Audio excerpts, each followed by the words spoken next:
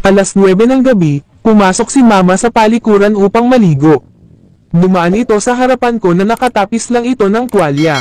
Noong oras na iyon ay kasalukuyan ako na nasa kusina at kumakain, pagkapasok niya sa loob.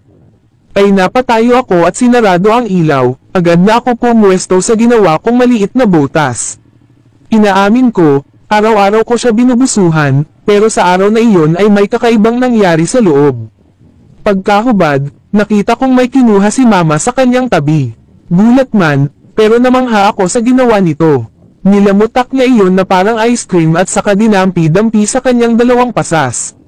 Umupo siya sa sahig at pinaghiwalay ang kanyang binti, at dahil doon ay kitang-kita ko ngayon ang magandang tanawin ni mama, na kahit madamo ay basang-basa.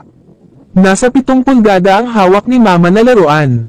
Tinutok niya sa kanyang buka na saka ipinasok iyon sa loob ng lagusan nito, na siyang nagpatirek sa kanyang mga mata. Pabalik-balik lang iyon ng mabilis, hanggang nakita ko na lang na nanigas na ang kanyang mga binti.